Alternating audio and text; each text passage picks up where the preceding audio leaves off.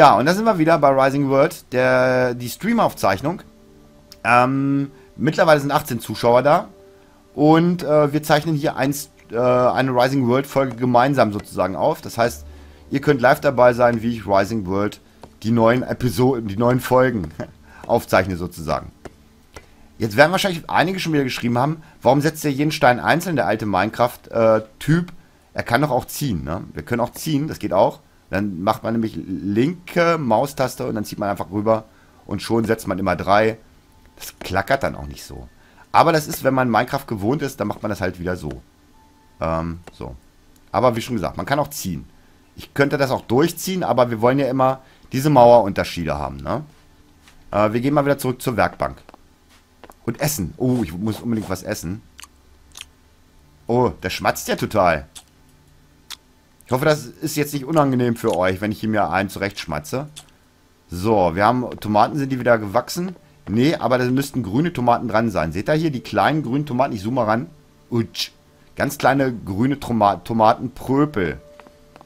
Hier soll ja unsere Werkstube rein. Da habe ich ja hier mit dem ja, etwas gräulichen, gräuerlichen Holzboden gemacht. Das müssen wir natürlich hier noch fortführen. Dafür müssen wir auch noch mal Bäume fällen gehen, dann demnächst. Und ich guck mal, was hier so geschrieben wird. Cool mit Webcam. Ja, Enrico, mit Webcam. Hi. äh, hatte ich mir mal so gedacht. Ähm, oh, und UFO schreibt, äh, Herzen von UFO. Yeah, ich freue mich ja. Herzen von UFO. Das ist ja so ein, so ein neuer Trend hier in unserer Community, ne? Mit den Herzen. Alles klar. So, äh, was wollte ich jetzt machen? Ah ja, wir müssen wieder äh, Pflaster steinen. Pflaster entsteinen. Ja, für den Fußboden innen, da wollte ich eigentlich nicht so gerne Holz nehmen. Da wollte ich eigentlich nicht. Und der äh, Kloppi... Kloppi-Fabrik? Kloppi-Fabrik? Hallo Kloppi-Fabrik, grüß dich. Schön, dass du da bist. Und jetzt kommen noch mehr Herzen. Ach, schön. Ja, ist doch toll. Das macht das Aufzeichnen auch gleich viel mehr Spaß, wenn man weiß, da gucken jetzt direkt Leute zu. Also, beste Grüße an alle, die jetzt gerade dabei sind. Und ich mache ganz viele Steine. Die werden wir brauchen. So. Ja, die werden wir brauchen. Und wir brauchen auch noch welche von den anderen. Denn ich habe noch was vor mit euch. Äh, Favor äh, Favoriten. Man kann also, ne, wenn man hier jetzt den normalen Stein hat, kann man sagen, das ist jetzt mein Favoritenstein. Dann geht man hier auf das kleine ähm, Sternsymbol. Äh, und dann geht man auf Favoriten und jetzt sollte der da drunter auch sein, ne? Genau, und dann ist er hier. Wenn man das wieder wegklickt, dann wird er aus der Favoritenliste wieder gestrichen. Äh, ja, das ist eigentlich eine ganz simple, aber geniale Funktion von Rising World, wie ich finde. Ja, die Macher von Rising World, die arbeiten ja gerade an dem Wasser-Update, habe ich gehört, wurde mir zugetragen äh, dass das wohl so sein soll. Okay, jetzt haben wir keine Steine mehr. Sehr gut. Hier müssen Säulen noch rein. Ich hatte vor, hier unten, um mal ein bisschen was anderes zu zeigen, nicht immer dasselbe. Hier unten wollte ich eigentlich noch mal so... Oh, das war der falsche Stein. Wieder ein Stein, der verloren ist für ewig und alle Zeit. Äh, da ist er. Genau. Man kann das auch mit den Nummerntasten machen. Ich weiß. Das geht schneller. Ah, ein Herz für dich. Von, äh, für mich? Für mich? Danke. Eins, zwei, drei. Ja, wie machen wir das? Machen wir es drei breit? Hier liegt ein kleiner Auswuchs. Hm. Ähm. So, ich mache das jetzt erstmal so. Ich wollte hier so einen kleinen Auswuchs dran machen und äh, da will ich was reinstellen. Könnt, könnt ihr es euch schon vorstellen, was da drauf kommt? Hier äh, in unserem Eingangsportal. Kommen natürlich wieder diese Steine drauf. Ah, gucken wir, ob es wer... Äh ah, was wird hier geschrieben? Okay, wo kann man sich das Spiel kaufen und wie viel kostet es? Das Spiel gibt es bei den Entwicklern selbst, aber auch bei Steam. Also bei Steam findest du dieses Spiel und es kostet, uh, da müsste ich jetzt lügen, dürfte irgendwas um die 19 Euro, liege ich da richtig? Oder irgendwas unter 20 aber, glaube ich, auf jeden Fall noch. Äh, wir wollen was anderes machen. ich glaube, da müssen wir in diese Werkbank, oder war das hier? Wartet mal, Lichter. Lichter, äh, ein... Schon jemand geschrieben? Das Kugeltal wird doch nicht überschwemmt vom Wasser. Hallo Delfino, schön, dass du da bist. Äh, das ist eine Livestream-Aufzeichnung. Es heißt, ähm, ich zeichne hier auf und das wird dann eine normale Folge. Gartenfackel, wo ist er denn? Fackelhalter. Das sind die ganzen Fackelhalter. Ich wollte aber eigentlich diese Dieses Ding hier haben, genau. Da brauchen wir aber Eisen. Oh, 12 Eisenplatten, 16 mal Eisenstab und ein, ähm, ein Baumstück. Okay. Das können wir also so noch nicht bauen, aber wir können schon mal die Podeste bauen. Podeste. Heißt es Podeste oder Podeste, UFO? Weißt du das? Oder weiß es einer von euch? Hm. So, hier kommt, ähm, also im Grunde wären es hier so zwei kleine Podeste an den Seiten, wo dann diese großen Ark, wo dann diese großen äh, Fackeln drauf kommen. Das heißt, diese Feuerkörbe, nenne ich sie jetzt einfach mal. Okay, jetzt machen wir es mal mit Nummerntasten. Drei. So und so. Na? Hier brauchen wir, na doch, komm. Auf der anderen Seite kommt nochmal genau, genau dasselbe hin. Das gleiche oder dasselbe? Das gleiche, ne? Ist ja nicht dasselbe.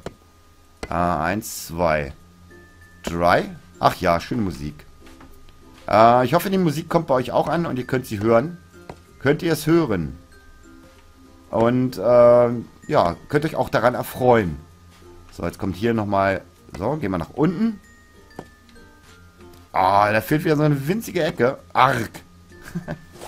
ah, nee. 13 Zuschauer mittlerweile. Freut mich. Schön, dass ihr alle da seid und hier beim, bei dieser Live-Aufzeichnung von Rising World zuguckt. Einfach mal so. Kann man ja, der Ufe sagt das ja auch immer, kann man ja einfach mal so nebenher laufen lassen. Ne? Muss man ja nicht äh, immer dann aktiv dabei sein, sondern man kann es auch nebenher laufen lassen.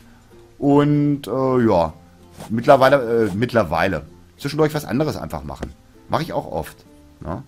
Einen Stream einfach laufen lassen und sich freuen, äh, dass er läuft. ich guck nochmal. Kloppi-Fabrik. Voll das geile realistische Minecraft, schreibt er hier. Ja, total, ne? okay, so sieht das jetzt aus, die beiden Podeste. Wenn man hier also auf die Serei zukommt. Mhm. Und eigentlich sollten wir irgendwo mal gucken, dass wir jetzt hier irgendwo einen Ofen reinzimmern. Wo, also hier soll ja die, sollen ja die Werkbänke rein. Wir können die ja schon mal darüber stellen. Brauchen wir das nicht immer auf den Hof machen. Wenn man die, ich glaube im Originalspiel ist die F-Taste, gedrückt hält, kann man die so Sachen wie Werkbänke und so auch wieder abbauen, ne? Das wissen aber wahrscheinlich auch die meisten von euch. Wie machen wir das jetzt hier mit den Kisten? Ich würde sagen, wir stellen die Blockbank, stellen wir mal hier hin. Hier hin? Ich bin im Stimmbruch, müsst ihr wissen, weil ich noch so jung bin. So unglaublich jung. Und unschuldig auch. Mit äh, K kann man, glaube ich, ein... Was? K kann man das Raster einblenden oder so, ne? War doch irgendwie so. War das K, G, wie Gitter, ne? Gitter. So. Steht das jetzt auch richtig an der Wand dran? Ja. Und dann kann man hier schön die Mitte rausfinden. So. Stellen wir die erstmal hier hin. Wir können die ja jederzeit wieder abbauen. Das ist überhaupt kein Problem. Hier hin. Und die Kiste haben wir eigentlich falsch hingestellt. Die müsste eigentlich hier hinten hin, ne? Arg. Das hieße, wir müssten die Kiste mal ausräumen. Hm. Wie machen wir das jetzt? Ähm, hier nehmen wir mal die Bretter. Die Brettata. Und dann werden wir mal ganz einfach noch eine Kiste bauen draußen. Da braucht man nämlich Bretter zu, für, zu für. Und, äh, wo sind sie? Das war doch hier, ne? Kisten. Kisten machen wir uns hier nochmal eine von. Herstellen zum Umlagern. Ich möchte das gerne ein bisschen anders haben. Anders da. Können wir schon mal eine eigentlich hier hinstellen. Ich drehe die mal. So. Wenn wir die hier hinstellen, kriegen wir da drei Stück hin. Drei Kisten eventuell. Ganz in der Ecke.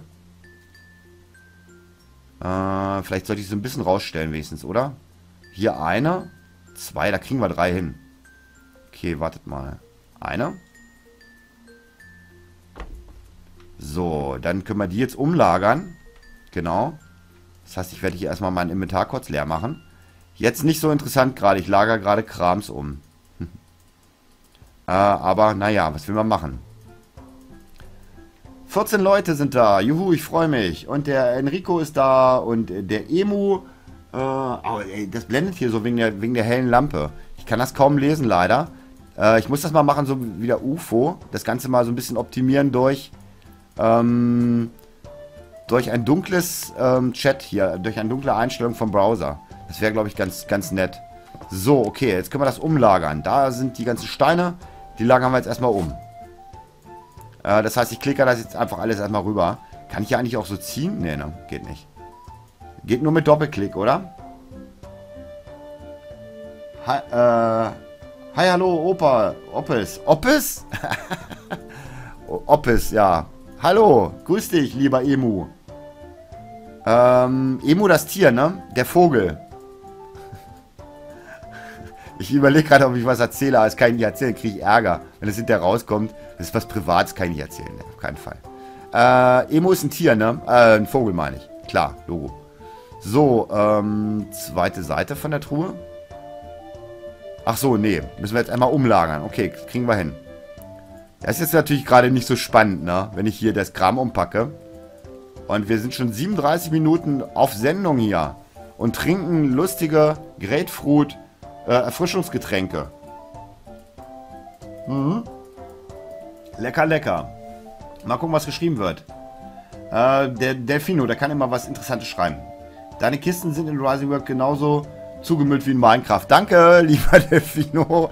Damit hast du mir sehr weitergeholfen. Aber guck mal, das ist doch voll ordentlich hier mit der Kiste. Ist ja nicht so, als wenn jetzt hier ähm, das total unordentlich wäre, oder? Ha. Tja. Oh, ist schon wieder dunkel. Ich gehe mal pennen, ne, damit ihr was seht. Und wir müssen noch Lampen noch aufhängen. Hier bei äh, unserer schönen Karawanserei. Karawanserei.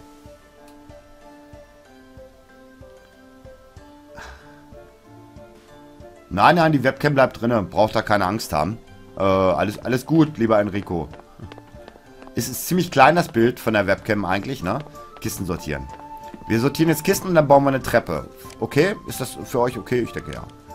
Natürlich äh, sind die Kisten auch teilweise ein wenig äh, zugemüllt. Ein bisschen aber nur. Lieber Delfino. ich bin halt, äh, nur das Genie beherrscht das Chaos, sagt man ja auch, ne? Moment, da ist noch eine zweite Ebene in dieser Kiste, die muss man aber erst aufklappen.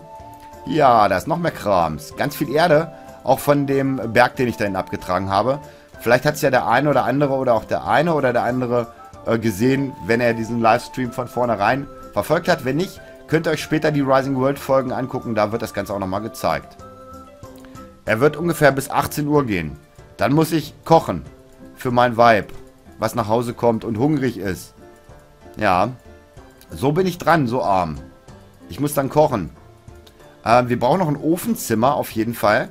Das würde ich auch gerne hier in der unteren Etage dann haben. Ich habe ja noch Steine hier. Äh, ja gut, das haben wir jetzt alles eingesammelt. Jetzt packen wir es wieder zurück. Oh Gott, ich krieg schon langsam einen Klickfinger. Kennt ihr das, so ein Klickfinger, wenn man immer klickt? Eine Reihe lassen wir uns, glaube ich, hier direkt mal drinne, oder? Nee. Machen wir es erstmal ordentlich. Äh, damit auch der Delfino damit uns zufrieden ist. Und er schreibt, in seiner Wohnung hat er auch dieses Chaos. Ja, ich auch leider. Ich müsste auch viel öfter aufräumen. Man sieht das jetzt nicht so. Ich habe das hier alles ganz ordentlich gemacht. Aber manchmal ist es schon ziemlich chaotisch. Dann stehen hier irgendwie Getränkeflaschen von drei Tagen äh, und Kaffeetassen von vier Tagen oder so. Dann denke ich mir, oh, jetzt muss da mal wieder Kaffeetassen runterbringen. Ja, ich koche gleich für meinen lieben Schatz was, was Leckeres. Ähm, einen, ah, wie heißt das? so, so kein Auflauf. Eine ähm, Bandnudeln, äh, oder ne, Bandnudeln, Gurtnudeln, oder wie heißen die? Mit Lauch und äh, gehackten, weil alles wird besser mit Hack, das wisst ihr ja. Und da gibt es dann so eine ähm, Pfanne. Bandnudellauch mit gehackten Pfanne. Okay, die Kiste ist leer. Und wenn die leer ist, dann kann man die abbauen. Oh, ja, seht ihr jetzt? Geht da unten entfernen der Truhe. Dann würde ich die Truhe ganz nach außen stellen. So. Bis an eine Wand ran. Da sparen wir eine Menge Platz. Und dann können wir die letzte Truhe nämlich dazwischen stellen, wisst ihr? Das heißt, wir können die jetzt nochmal ausräumen. Oh, wir haben noch ganz viele Melonen. Lecker. Äh, wir können die nochmal ausräumen. Und dann stellen wir die in die Mitte und dann können wir sie wieder einsortieren. Total gut. Und dann haben wir ein bisschen mehr Ordnung. Das wird ja auch den einen oder den anderen gefallen bestimmt. Zwölf Leute im Stream. Yeah.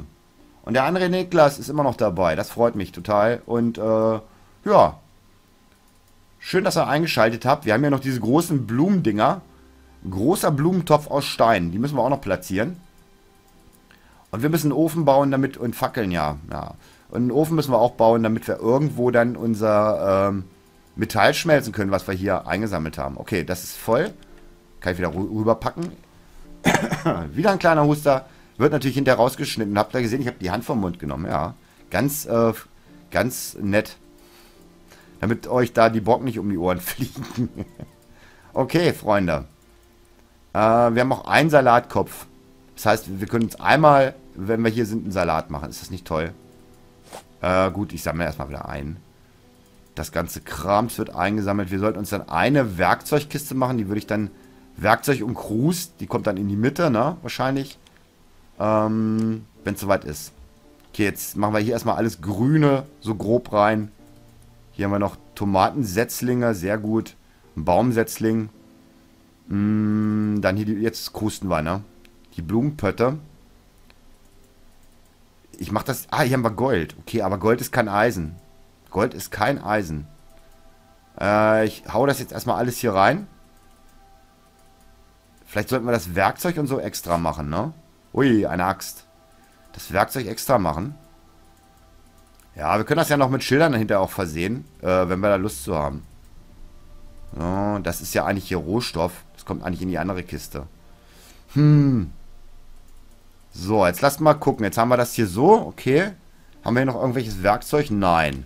Das heißt, wir müssten ja diese Kiste jetzt abbauen können. Ist ein... Ah, hm. Na gut.